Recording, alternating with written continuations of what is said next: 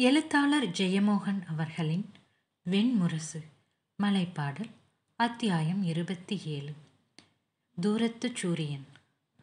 தசபதம் என்றழைக்கப்பட்ட அடிக்காட்டு பகுதியின் யாதவர் குலத்தலைவராக இருந்த சூரசேனரின் கடைசி மைந்தனாகிய வசுதேவன் இளமையிலேயே தங்கை பிருதியிடம்தான் நெருக்கமானவனாக இருந்தான். அவன் பிறக்கும்போதே அவன் தந்தைக்கு வயதாகிவிட்டிருந்தது. நீண்ட நரைத்த தாடியும் வெண்ணிறமான தலைப்பாகையும் தோள்களில் போடப்பட்ட கனத்த கம்பளிச் சால்வையும் காதுகளில் குலத்தலைமையின் அடையாளமான பொற்குண்டலங்களும் கொண்ட முதியவரைத்தான் அவன் தந்தையாக அறிந்திருந்தான். அவர் அவனிடம் பெரும்பாலும் பேசியதே இல்லை. அவர் பொதுவாக எவரிடமும் பேசுவதே இல்லை. யாதவர்கள் இளமையிலேயே செல்லவிதலையும் விளைவிதலையும் பழகி தங்கள் இயல்பாக கொண்டிருந்தனர். தசபதத்தின் தலைவராக இருந்த ஹேஹேய வம்சத்து கிருதீகர் மறைந்தபோது சூரசேனருக்கு பதினாறு வயது. அவர்களின் கிராமமான மதுவனம் தசபதத்தின் வடக்கு எல்லையில் இருந்தது. தசபதத்திலேயே அதுதான் பெரிய ஊர். பெரிய பிளக்ஸ மரங்களால் வேலிக்குள் வட்டமாக அமைந்த இருநூறு இல்லங்களும் நடுவே அரச மரத்தடியில் ஊர்மன்றும் கொண்ட இடையர் கிராமமான மதுவனத்தின் நடுவே கனத்த மரங்களால் அடித்தளமிடப்பட்டு மரச்சுவர்கள் மேல் மரப்பட்டை கூரையிடப்பட்ட ஊர் தலைவரின் மாளிகை இருந்தது. முன்பொரு காலத்தில் கோசல மன்னரான சத்ருக்னன் வந்து தங்கிய மாளிகை அது என புகழ் பெற்றிருந்தது. யாதவர்களில் முதன்மை குலமான விருசினிகளில் பிறந்த ஹிருதிகரின் மைந்தரான சூரசேனரை தசபதத்தின் நூற்றி ஆறு யாதவ கிராமங்களில் வாழ்ந்த எட்டு குடிகள் இணைந்த அவையில் குடிசபை தலைவராக தேர்ந்தெடுத்தனர். அவருக்கு அக்குடிகளில் இளமையானதான லவணகுலத்தைச் சேர்ந்த மரீசியை மனம் புரிந்து வைத்தனர். லவணர்கள் பத்து தலைமுறைக்கு முன்பு வரை தசபதத்துக்கு அப்பால் இருந்த சிலாமுகம் என்னும் காட்டில் வேட்டையாடிக் கொண்டிருந்தனர். அவர்களும் யாதவர்களுக்கும் தலைமுறை தலைமுறையாக போர் நடந்து கொண்டிருந்தது. காட்டுக்குள் மேய்ச்சலுக்கு செல்லும் கன்றுகளை லவணர் கவர்ந்து செல்வதும் அதை தடுக்க முயலும் யாதவர்களை கொள்வதும் அன்றாட நிகழ்ச்சியாக இருந்தது. லவணர்கள் காட்டை நன்கு அறிந்திருந்தார்கள். அவர்களின் விட்கள் திறம் கொண்டவையாகவும் அவர்களின் உள்ளம் இரக்கமற்றதாகவும் இருந்தது. அவர்களின் தலைவனாகிய மதூகன் யாதவர்களை விரும்பாதவனாக இருந்தான். சூரசேனரின் மூதாதையான கிருதவை கிருதவீரியனின் காலகட்டத்தில் அன்று யமுனை பகுதியை ஆட்சி செய்திருந்த கோசல நாட்டின் இக்ஸ்வாகு வம்சத்து அரசர்களில் இளையவனும் பெரும்புகழ் ராமனின் இளவலுமாகிய சத்ருக்கனிடம் சென்று முறையிட்டனர். அவன் படையுடன் வந்து தசபதத்தை அடைந்தான். அவனுடைய படைகள் மலையேறிச் சென்று லவணர்களை வென்றன. மதுகனை சத்ருக்கன் கொண்டான். மதுகனின் மகனாகிய மாகன் தசபதத்தின் யாதவர்களுடன் ஒத்துச் செல்லவும் அங்கிருந்த ஏழு குடிகளுடன் எட்டாவதாக இணைந்து கொள்ளவும் ஒப்புக்கொண்டான் லவணகுலம் அவ்வாறாக அடிக்காட்டுக்கு இடம்பெயர்ந்தது. வேட்டையை விட்டுவிட்டு மேய்ச்சலுக்கு வந்தது. ஆனால் யாதவர்கள் லவணர்களை தங்களுக்கு நிகரானவர்களாக நினைக்கவில்லை. லவணர்கள் அப்போதும் வேட்டைக்காரர்களின் மனநிலையையும் வாழ்க்கையுமே கொண்டிருந்தனர். காட்டு வேடர்களின் வழக்கப்படி அவர்கள் வருடத்தில் ஒருமுறை சித்திரை முழு நிலவின் குலதெய்வ பூசை நாளில் மட்டுமே நீராடினர். நீராடாமல் இருப்பது காடுகளுக்குள் பிற விலங்குகளின் மோப்பத்துக்கு சிக்காமல் உழவுவதற்குரிய வழிமுறையாக அவர்கள் நெடுங்காலமாக கடைபிடிக்கப்பட்டு வந்த வழக்கம். அவர்கள் பிறர் தொட்ட உணவை உண்ணுவதோ பிறரை தங்கள் இல்லத்துக்கு அழைப்பதோ இல்லை. ஆகவே பிறரும் அவர்களை அப்படியே நடத்தினர். அவர்கள் தங்களுக்குள் மட்டும் லாவணம் என்னும் மொழியில் பேசிக்கொண்டனர் அவர்களின் பெண்களும் குழந்தைகளும் யாதவர்கள் பேசிய யாதகி மொழியை கற்றுக்கொள்ளவே இல்லை. குலத்தலைவர்கள் மட்டும் பொதுச்சபைகளில் மரளையில் யாதகி மொழியை பேசினார்கள். அவர்களின் மொழியே அவர்களை நகைப்புக்குள்ளானவர்களாக ஆக்கியிருந்தது. காட்டை வென்ற லவணர்களால் மொழியை வெல்ல முடியவில்லை. மொழியாலான சமநிலத்தில் அவர்கள் அந்நியர்களாகவே இருந்தனர். யாதவர்களின் வழக்கப்படி குலத்தலைவராக அமர்பவர் எட்டு யாதவ குலங்களில் ஒன்றிலிருந்து மனம் கொள்ள வேண்டும். ஹிருதேகர் சிறுகுடியில் இருந்தும் வைரிகுடியில் இருந்தும் இரு மகளிரை மனம் புரிந்து கொண்டிருந்தார். அவர்கள் சிறுகுடியைச் சேர்ந்த சம்பைக்கு தேவவாகன் கதானன் என்னும் இருமைந்தர்கள் பிறந்தனர். வைரிகுடியைச் சேர்ந்த பத்மைக்கு கிருதுபர்வன் சூரசேனன் என்னும் இருமைந்தர்கள் பிறந்தனர்.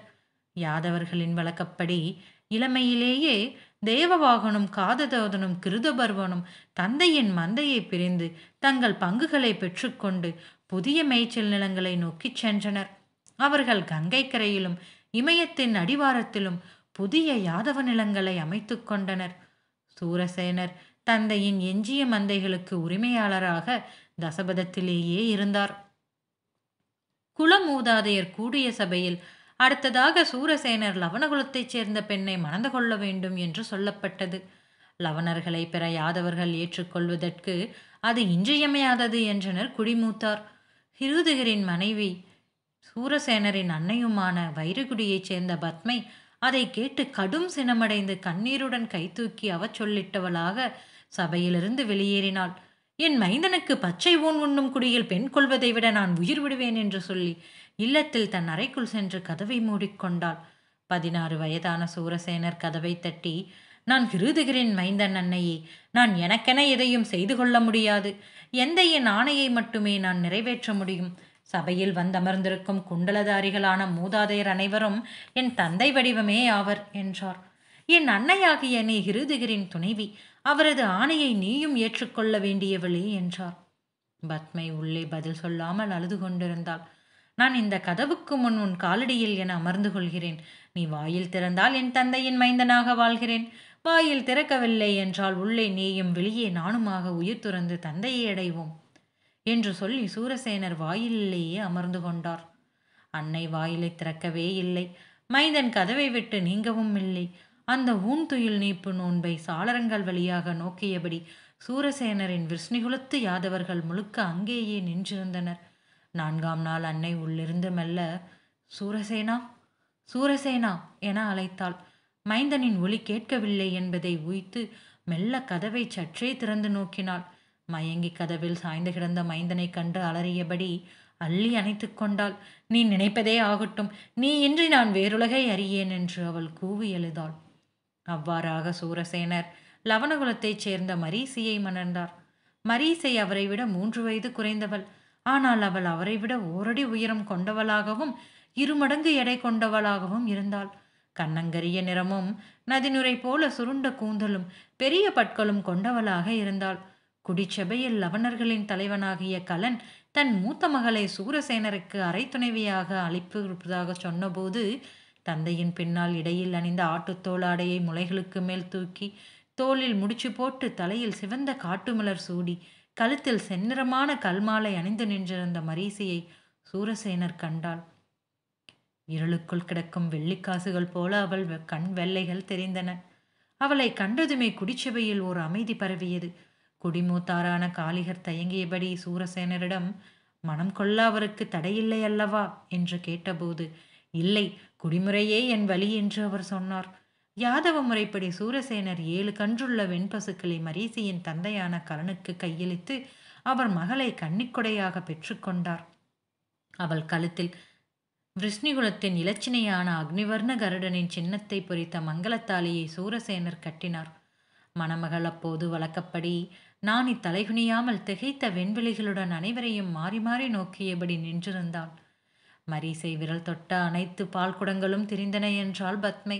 அவள் நடந்தபோது மரத்தாலான இல்லம் அதிர்ந்தது என்றனர் முதுபெண்டிர் அவளுக்கு நீராடும் வழக்கமோ பட்களை தீட்டும் முறையோ இல்லை என்றார் ஆயர் மகளிர். அவளுக்கு யாதகி மொழியே தெரியவில்லை என்று சூரசேனர் கண்டுகொண்டார்.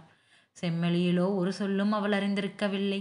அவளிடம் அவர் பேசிய சொற்கள் எல்லாம் பாறை மேல் மலை என வழிந்தோடின. செவி இழந்த பசுவை மேய்ப்பது போன்றது அவளுடனான காதல் என அவர் அறிந்தார். அவர் அவளை பற்றி எவரிடமும் ஒரு குறை சொல்லும் சொல்லவில்லை. அவளிடம் பேசுவதற்கு கண்களாலும் கைகளாலும் ஒரு மொழியை அவரே உருவாக்கிக் கொண்டார். ஆனால் அவளை அவரது உடல் அறிந்திருந்தது. அவளுடைய உடலின் திடத்தையும் ஆற்றலையும் அவருடைய உடல் வெளிப்பட்டது. காலம் செல்லச் செல்ல அவளுடைய நிறமும் வாசனையும் ஒளிகளும் அவருக்கு பெரும் மனக்கிளர்ச்சியை அளித்தன. அந்த ஈர்ப்பை அவரே அஞ்சினார். அன்னையும் பிற விருஷ்ணிகுலத்தாரும் அதை அறிந்து கொள்ளலாகாது என்று அவர் நினைத்தார். ஆனால் அவரது கண்களை கண்டதுமே மூதன்னையர் கூட அதை துல்லியமாக அறிந்து கொண்டனர். அவர் அவர்களின் கண்களை சந்திக்காமல் இருக்கையில் அவரது உடலின் அசைவுகள் வழியாக அறிந்து கொண்டனர். அதை அறிந்ததுமே பத்மை உரத்த குரலில் வேறு எதையோ குறிப்பிட்டு கூச்சலிடுவாள். கண்ணீர் மல்கி மனக்குறைகளை சொல்லி அழுவாள். தன்னையே எண்ணி வருந்தி தன் நெஞ்சிலேயே அறிந்து கொள்வாள். சூரசேனர் அப்போது தலைகணிந்து வெளியேறி தொழுவங்களுக்கோ பட்டிக்கோ ஊர்மன்றுக்கோ சென்று விடுவார். அவரை சந்திக்கும் விஷ்ணுகுலத்து பெண்களெல்லாம் அவளை பற்றி இழித்துரைத்தனர். அந்த இழிவுரைகள் நாள் செல்ல செல்ல மிகுந்தபடியே வந்தன. அதை உணர்ந்தபோதுதான் அவருக்கு அவள் மேலிருந்த பெருங்காதலை அறியாத எந்த பெண்ணும் அக்குடியில் இல்லை என அவர் புரிந்து கொண்டார். அவளுக்கும் அது தெரிந்திருந்தது. அவருடன் இருக்கையில் அவள் எப்போதும் மெல்லிய குரலில் பெரிய உடலில் இறுகிய கரிய தசையில் அதிர சிரித்து கொண்டிருப்பாள். அவளுக்கு என்ன வேண்டும் என்று அவர் எப்போது கேட்டாலும் அவரது மார்பில் தன் சுட்டுவிரலை ஊன்றி அவள் வாய்ப்பைத்துச் சிரிப்பாள். நீ அழகாக இருக்கிறாய் என்று அவளுடைய மொழியில் சொல்வதெப்படி என்று அவர் கற்றுக்கொண்டார். ஆனால் அச்சொற்கள் அவளுக்கு எந்த பொருளையும் அளிக்கவில்லை. பின்னர் நீ வலிமையானவள் என்று சொல்லத் தொடங்கினார். அதுவும் அவளுக்கு ஓப்பளிக்கவில்லை அவளிடம் ஒருமுறை நான் உன் குழந்தை என்று சொன்னார். அவள் பெருங்காதலுடன் அவரை தன் பெரிய மார்பு குவைகளுக்குள் அணைத்து இறுக்கிக் கொண்டு லாவண மொழியில் எதையெதையோ பாடுவது போலச் சொன்னான். தன் காதலே மரீசியை பிறரது வெறுப்புக்குள்ளாக்குகிறது என்றறிந்த பின்னர் சூரசேனர் காட்டிலேயே தங்கத் தொடங்கினார். மாதத்தில் இரண்டு முறை மட்டும் மதுவதனத்துக்கு வந்து அவளுடன் இருப்பார். அப்போது கூட அவளை எருமை சேற்றுக்குழியில் விழுந்து விட்டது என்றோ பசுவின் கால் ஒடிந்து விட்டதென்றோ ஏதேனும் சொல்லி அருகே இருக்கும் காட்டுக்கு கூட்டிச் சென்று விடுவார். அங்கே மரத்தின் மேல் கட்டப்பட்டிருந்த காவல் மாடத்தில் தான் அவளுடன் குழவினார். அவள் அவரிடம் எந்த மனக்குறையையும் சொல்லவில்லை. அவருடன் இருக்கும் போதெல்லாம் அவளுடைய உடல் வழியாகவே அகம் தன்னை வந்தடைகிறது என அவர் அறிந்தார்.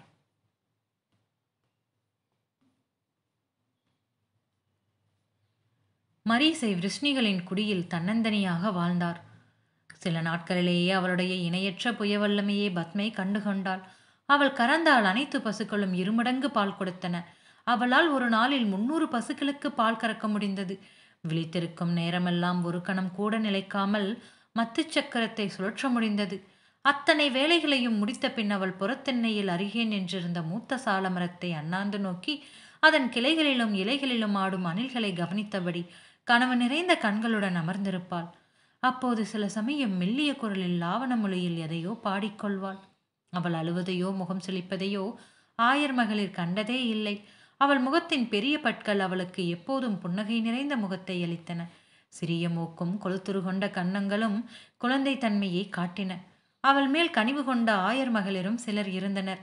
அவர்களின் கன்றுகள் திமிருக்கொண்டு செல்லும் போதோ எருமைகள் எழாமல் அடம்பிடிக்கும் போதோ மரீசியைத்தான் அவர்கள் அழைக்க வந்தனர். அவர்களின் குழந்தைகளுக்கு அவளுடைய ஆற்றல் மிக்க உடல் மேல் வியப்பிருந்தது. ஆனால் கண்மூடும் நாள் வரை பத்மை தன் மருகியை வெறுத்தாள். அவளை முகம் சுளிக்காமல் ஒரு கணமேனும் பார்க்கவில்லை. கசப்பு இல்லாத ஒரு சொல்லையேனும் அவளிடம் சொல்லவில்லை. அவள் மனமுடித்து வந்த முதல் வருடமே முதல் குழந்தையை பெற்றாள். அவளைப் போலவே கனத்த பெரிய க உடலுள்ள ஆண் குழந்தையை பத்மை தொட்டு பார்க்கவில்லை. ஆகவே பிற யாதவ மகளிரும் அக்குழந்தையை தொடவில்லை. வசு அன்னையின் இடையிலேயே வளர்ந்தான். அடுத்த குழந்தையை மரீசை பெற்றபோது வசுவை சூரசேனர் காட்டுக்கு கொண்டு சென்று அங்கே தன்னுடன் வைத்து கொண்டார். மரீசை தொடர்ந்து குழந்தைகளை பெற்றுக்கொண்டே இருந்தாள். தேவபாகன் தேவசிரவஸ் ஆனகன் சிரிஞ்சயன் காகாணிகன் சியாமகன் வத்சன் காவுகன் என அனைத்து குழந்தைகளும் மரிசியைப் போலவே கண்ணங்கரியவையாக ஆற்றல் மிக்கவையாக இருந்தன. விருஷ்ணிகுலத்து யாதவர்கள் அனைவருமே வெண்ணிறமானவர்கள். காராம்பசு குட்டிகளை போன்ற குழந்தைகளை காண விருஷ்ணிகுல பெண்கள் திரண்டு வந்தனர். வாயில் கை வைத்து விழித்த கண்களுடன் குழந்தைகளை நோக்கி நின்ற பெண் தங்களுக்குள் கிசுகிசுப்பாக பேசிக்கொண்டனர் ஒருவரும் குழந்தைகளை கையால் தொட்டு எடுக்கவில்லை முதல் மூன்று குழந்தைகளுக்கும் விருஷ்ணிகளின் குலவழக்கப்படி செம்மொழி பெயர்கள் வைக்கப்பட்டனர்.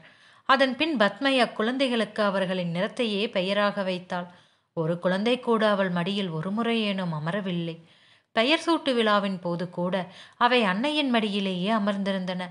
பெயரிட்ட மறுநாளே அவை தந்தையுடன் காட்டுக்குச் சென்றன. மரீசை அதன் பின் மூன்று பெண் குழந்தைகளை பெற்றாள். கரிணி சிசை சியாமை என்னும் மூவரும் அன்னையைப் போலவே கண்ணங்கரிய நிறம் கொண்டவர்களாக இருந்தனர். அவர்களுக்கு நாமகரணம் முடிந்ததுமே அன்னையின் லவணகுலத்துக்கு அனுப்பப்பட்டனர். பதிமூன்றாவது குழந்தையாக வசுதேவன் பிறந்தபோது பத்மை முதுமையடைந்திருந்தாள். மருகி கருவுற்றபோது அவள் அக்கருவையே வெறுத்தாள். பன்னிரு குழந்தைகளுக்கு பின்னரும் மரீசை எந்த மாறுதலும் இல்லாமல் லவணர் குளத்திலிருந்து தோல்கூடையில் சீர்பொருட்களை சுமந்து தயங்கிய காலடிகளுடன் இல்லத்தில் நுழைந்த போதிருந்ததைப் போலவே இருந்தாள். அவள் வயிறு கருமையாக வீங்கி மெருகு கொண்டபோது இன்னொரு எருமைக்குட்டி உள்ளே வாழ்கிறது என்று பத்மை சொன்னாள். விஷ்ணுகுலத்து ஹிருதிகரின் குருதிக்கு தொடர்ச்சி இல்லை என விதி எண்ணுகிறது போலும் என்றாள். ஆகவே மகவு பிறந்த செய்தியை வயிற்றாட்டி வந்து சொன்னபோது புறவாயிலில் கன்றுக்குட்டிக்கு கழுத்தினார் பின்னிக்கொண்டு அமர்ந்திருந்த அவள் எழுந்து கூட பார்க்க முனையவில்லை. சரி அதற்கென்ன? என் முத்திரை மோதிரத்தை அளிக்கிறேன். அதை நீரிலும் பாரிலும் தொட்டு நீயே அதன் உதடுகளில் வைத்துவிடு என்று வயிற்றாட்டியிடம் சொன்னாள். பிராட்டி குழந்தை செந்நிறமாக இருக்கிறது என்று வயிற்றாட்டி சொன்னபோது விளங்காதவள் போல ஏறிட்டு தன் முதிய விழிகளால் பார்த்தாள். அதன் பின் தீப்பிடித்து கொண்டவள் போல எழுந்து ஈச்சரை நோக்கி ஓடினாள். உள்ளே மூங்கில் கட்டிலில் தோல் மெத்தை மேல் மரீசை கிடந்தாள்.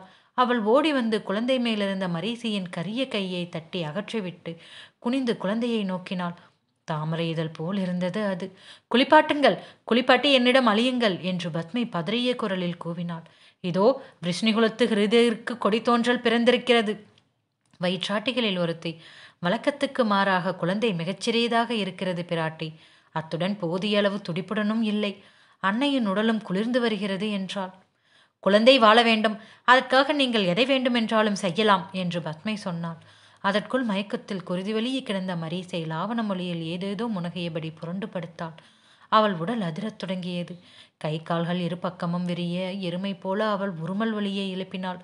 மீண்டும் வழிவந்திருக்கிறது பிராட்டி என்றாள் வயிற்றாட்டி. பத்மை அந்த குழந்தையை என்னிடம் கொடு. நீங்கள் அவளை பார்த்து கொள்ளுங்கள் என்றாள். வயிற்றாட்டி தோளாடையில் பொதிந்து கையில் கொண்டு வந்து கொடுத்த குழந்தையை மார்போடு அணைத்து அவள் கண்ணீர் விட்டாள். சற்று நேரத்தில் வயிற்றாட்டி வந்து இன்னொரு பெண் குழந்தையும் பிறந்திருக்கிறது என்றாள். குழந்தை என்ன நிறம்? என்று தான் பத்மை கேட்டாள். இதே நிறம்தான் பிராட்டி நல்ல செந்நிறம். பத்மை கண்ணீர் வெளியே மார்போடு அணைத்த குழந்தையுடன் மீண்டும் ஈச்சரை நோக்கி ஓடினாள். இரு குழந்தைகளும் பத்மையின் நெஞ்சிலேயே வளர்ந்தன. பாலூட்டும் நேரம் தவிர அவற்றை தீண்டுவதற்கு மரீசி அனுமதிக்கப்படவே இல்லை. அவள் இல்லத்தின் அனைத்து பணிகளையும் செய்ய பத்மை இரவும் பகலும் குழந்தைகளுடன் இருந்தாள். மூத்தவனாகிய வசுதேவனும் தங்கை பிருதையும் பாட்டியையே அன்னை என்றழைத்தனர். எப்போதேனும் வந்து செல்லும் தந்தையை அவர்கள் அறியவே இல்லை.